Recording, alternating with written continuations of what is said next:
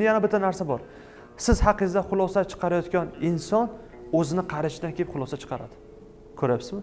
Sizni hozir savol berishingizni kimdir samimiylik deb bilsa kimdir o'zini ko'rsatish deb biladi. Siz tashqaridan savol berasiz aytasiz e man kimman? deysiz. Biri aytadiki san manmansan deydi ikkinchisi aytadi san juda aqllisan deydi uchinchisi aytadi san ahmoqsan deydi ko'ryapsizmi? Hammani qarash har xil. Shuning uchun siz oynada o'zingizni ko'rgan vaqtingizda siz o'zingizga o'zingiz baho bera olishni o'rganishingiz kerak. Bu psixologiyada samoanaliz deydi. Ya'ni o'z o'zini tahlil qila olish. Endi yana bir narsa bor.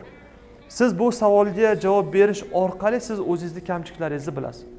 Ya'ni men kimman degan savolni doimiy ravishda bersangiz sizga aytadi e dedi mana bu yurishing manga yoqmayapti deydi kimdir.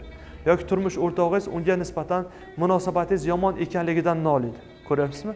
Ya'ni bu siz o'zingizga men kimman degan savolni berganingizdan so'ng o'sha kamchiliklaringizga e'tibor berishni boshlaysiz va buni tuzatasiz. Ko'ryapsizmi?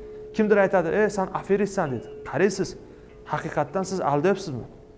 Haqiqatdan siz kimnidir haqqini yeyapsizmi ha значит man buni tuzatishim kerak deysiz. Buni tuzatasiz. Ko'ryapsizmi? Mana oddiy misol. Nima uchun? Chunki siz tayoqni ikki uchini o'rtasidan ko'tarishga harakat qilishni boshladingiz. Mana oddiy misol. Shuning uchun kimdir sizga yana bitta narsa xulosa chiqarish eng oson yo'li sizga kimdir fikr bildirayotgan vaqtda o'sha insonni darajasiga qarang. Kechirasizda hozir man haqimda qanaqadir fikr bildirsalar man olaman bu fikrni. Lekin ko'chada kimdir man haqimda qanaqadir fikr bildirsa agar analiz qilamanda o'ylayman. Ha?